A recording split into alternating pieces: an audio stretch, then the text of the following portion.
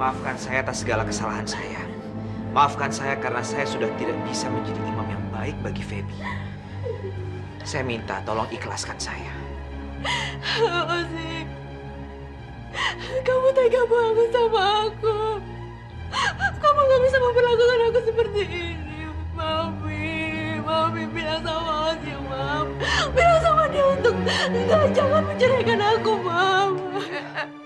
Ozi, kamu itu memang keterlaluan ya. Kamu memang menantu tidak tahu diri. Itu untuk kekejaman kamu. Karena kamu telah mengecewakan Feby. Dan itu untuk kekejaman kamu. Karena kamu telah mempermainkan Feby anak saya. Ingat, Ozi. Urusan kamu tidak sampai di sini. Terima kasih atas tamparan Mami.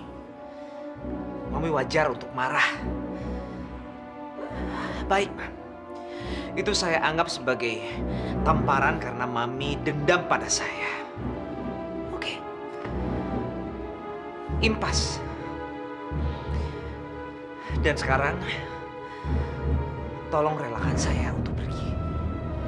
Dan sekarang, Feby kembali menjadi milik Mami seutuhnya. Assalamualaikum.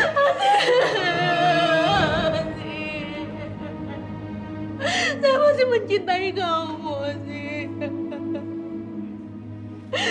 Saya masih sayang sama kamu.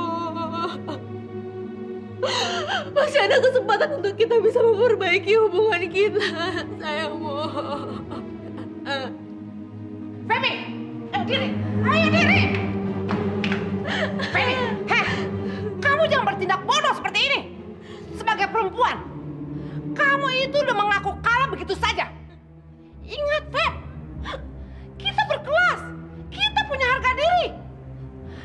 Tidak pantas mengamis cinta laki-laki kampung seperti dia.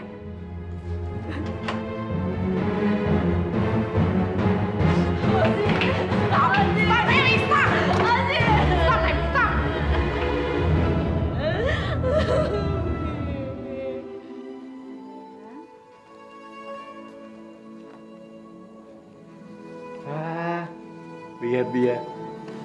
Tidurnya nyenyak banget. Pasti lagi mimpi bermain sama para malaikat, ya kan? Alhamdulillah, Mas. Akhirnya saya bisa mendapatkan kembali anak saya. Dan sekarang kita hanya tinggal menunggu hasil tes DNA itu. Yang akan memberitahukan kita siapa sebenarnya ayah dari bayi saya. Eh, Sakina, kamu masih menanyakan soal tes DNA itu. Tentu saja, Mas. Kita tidak boleh menutup mata kita pada kenyataan yang ada. Dan kalaupun Kang Fauzan adalah ayah dari bayi saya, maka dia berhak mengetahui hal ini.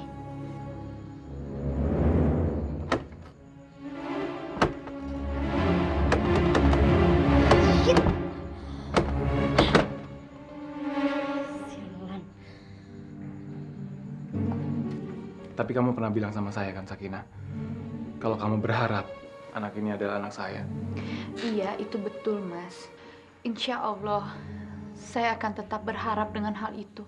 Tapi kalau ternyata anak ini adalah anak Fauzan, apa kita masih bisa bersatu, Sakina? Maksud Mas Ruben apa? Iya, saya takut kalau kamu akan kembali ke Fauzan dan nanti kamu bisa Tolong jangan teruskan, Mas. Kamu tidak perlu mengkhawatirkan soal hal ini.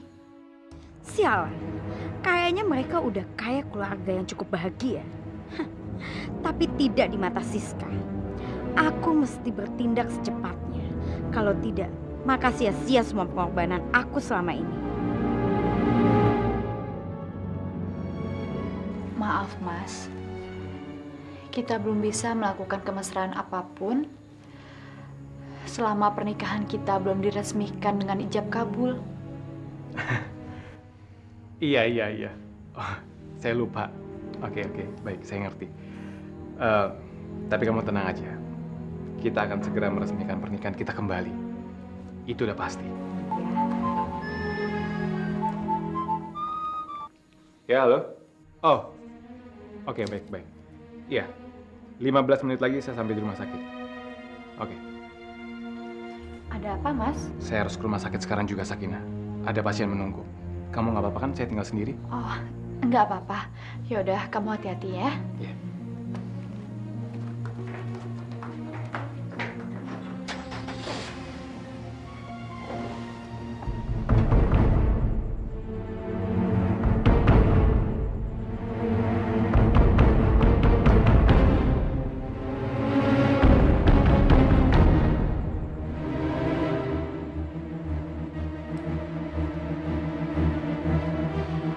saatnya aku mesti melenyapkan wanita kampung itu.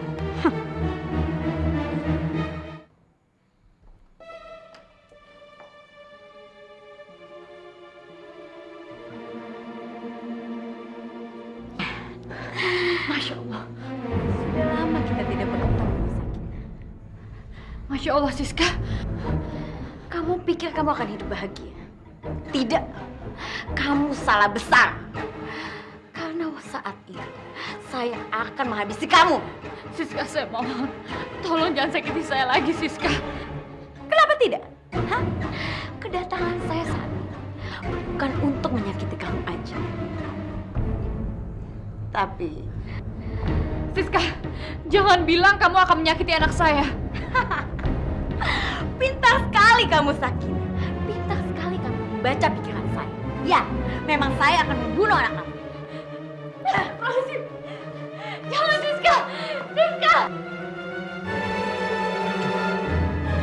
Gana.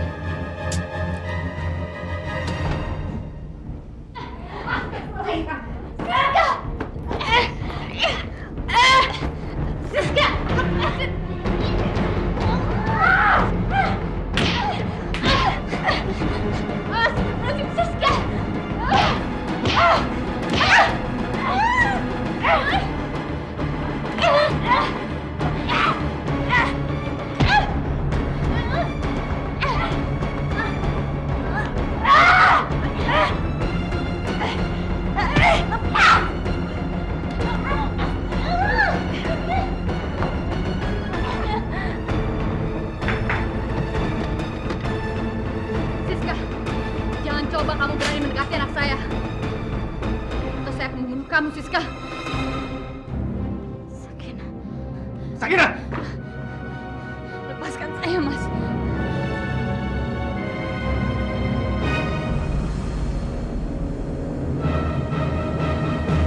Sakina, istighfar, Sakina.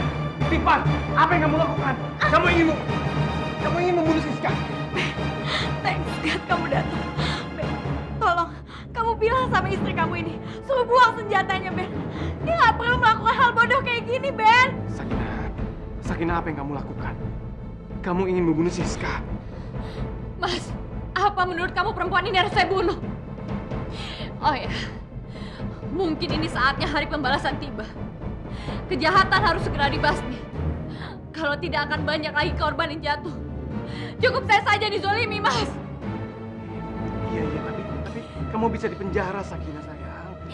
Tapi dia hampir membunuh anak saya, Mas. Apa? Benar itu Siska. Kamu mau membunuh anakku? Tapi Ben, itu bukan anak kamu Ben, itu bukan anak kamu. Diam, Siska! Atau kamu mau saya mempercepat pembunuhan kamu?